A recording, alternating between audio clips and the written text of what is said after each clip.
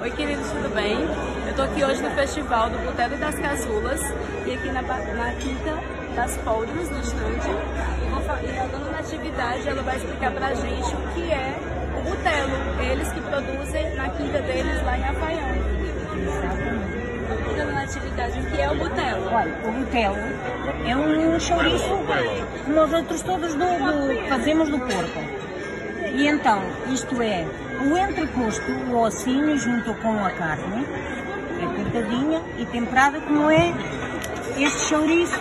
O tempero é como sendo o chouriço, o chouriço, o salpicão, é a mesma coisa. Então, depois, nesta tripa larga, que é do porco, que é o estômago do porco, enche este, este, este chouriço com aqueles ossinhos e com, com o entrecosto, que é, o ossinho é a costela do porco. Exatamente. Depois, vai ao fumeiro, que é curado com o chouriço, e agora é cozido. A tradição é comer junto com as cascas, que é o feijão seco, abaixo do feijão seco.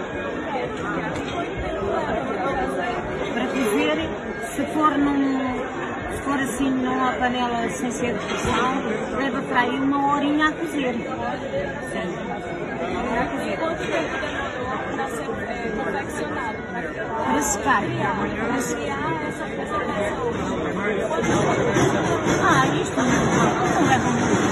Leva, leva, leva quase como o outro chouriço encher. É. Sal? Não, depois fica ao fumeiro. Fica no fumeiro. Quanto tempo no fumeiro? E 15 dias, não, não. Só, sim. E 15 dias. Gente no fundo estes, a secar na mesma. Seca na mesma. Como todos estes, está tudo no mesmo fumeiro. E a gente fazemos um fumeiro lá um bocadinho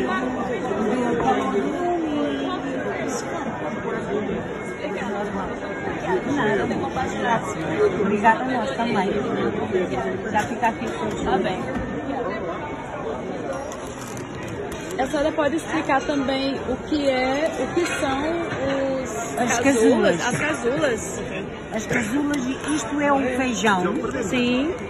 E é e, e este, isto é a vagem do feijão, com o feijão lá dentro. A vagem do feijão? Sim. Sim. E então, em lugar de se abrir o feijão e tirar aquele grão que só se vê assim, o feijão, só o grão, isto não.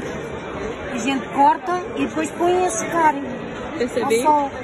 Ficam a secar e depois, desde que eles estão sequinhos, a gente embala. Depois, quando a gente quer comer, Sim. então põe-se do molho, por exemplo, de uma noite para outro dia, certo. depois é cozido. Tá para bem. comer, é tradição comer com o botelo. Junto com o butelo para acompanhar. Exatamente. Pois eu vou querer um para comer com o meu butelo. Sim, Tá bem? tá.